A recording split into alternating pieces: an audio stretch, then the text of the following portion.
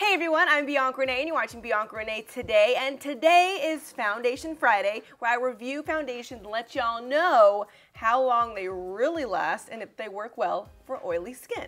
Now today's victim is the Smashbox Studio Skin 15 Hour Wear Hydrating Foundation. I've heard great things about this foundation, especially for oily skin, so I really wanted to try it and that's what we'll be doing today. Now the box claims that this is a hydrating foundation and it was made for photo shoots that you look and feel amazing throughout the whole 15 hour shoot. Now that is a very long claim time. I will not be able to wear this foundation for 15 hours and come back for you guys, but I will wear it for as long as possible and we'll see how well it does. Cause ain't nobody got time for 15 hours. But it also says it's going to give you medium to full coverage. It's oil free. It's supposed to control your oils all day. That's the main test. Oh, sweat, humidity, and exercise resistant. So for all you glam girls that go to the gym with your lashes and your contour and your highlight, this just might be your best friend.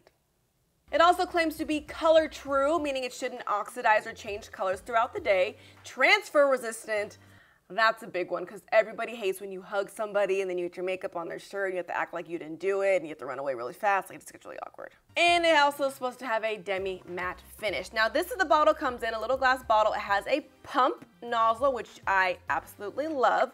And it has one fluid ounce, just like the rest of the foundations I've reviewed. So without further ado, let me show you exactly how I apply this foundation.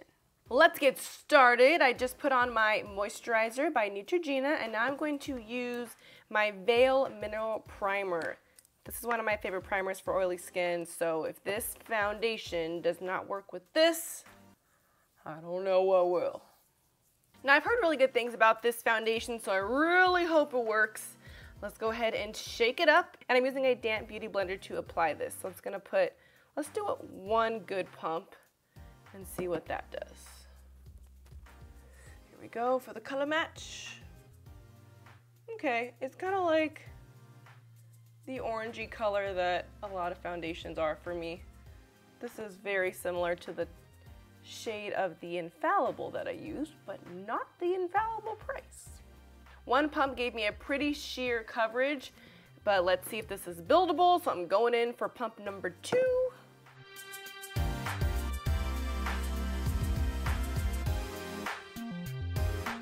There's my first layer. I think it is pretty sheer. It's definitely going on very matte. I'm not shiny or dewy at all.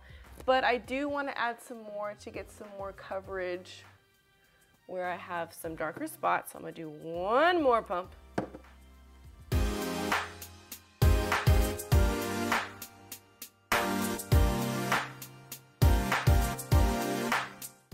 That's all I'm going to apply of the Smashbox Studio Skin Foundation. So now let me finish the rest of my face.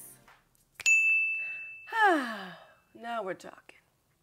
So overall, I think the foundation does look really nice. Right now, I'm definitely matte. I'm not shiny or dewy at all.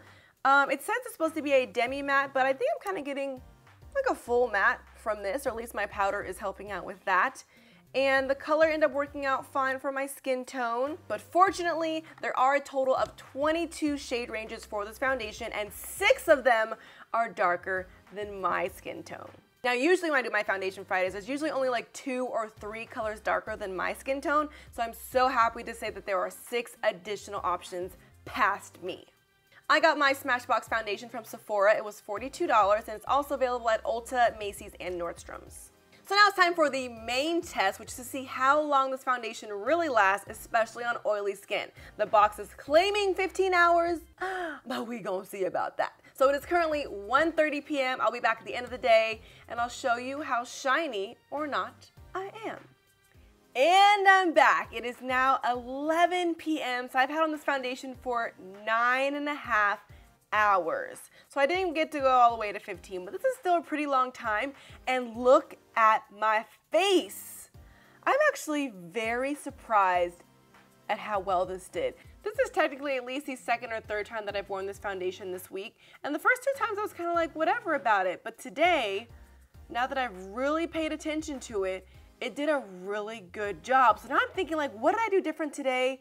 Maybe I just did a better job at setting it. I did set my face with my Laura Mercier powder, but It looks really good. But now I'm gonna get my oil absorbing sheets per usual, and this is going to test how much oil it actually controlled. So let me just go ahead and blot. Look at that, that's not a lot for the first pat. Usually in one pat, I'm like drenched. Oh, I don't know, guys.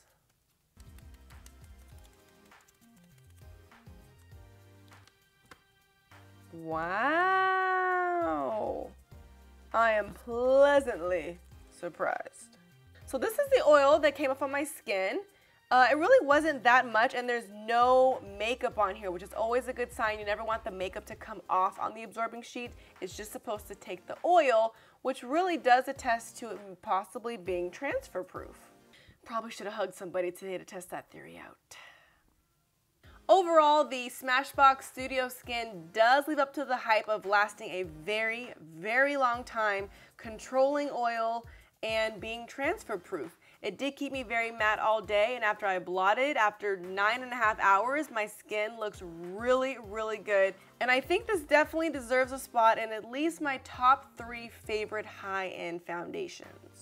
At this point, I would have to say that my top three are the Hourglass Infallible, the Estee Lauder Double Wear, and now the Smashbox Studio Skin. So I'm probably gonna have to do some side-by-side -side comparison battles between them to see which one keeps me the most matte, but I'm very satisfied with this purchase.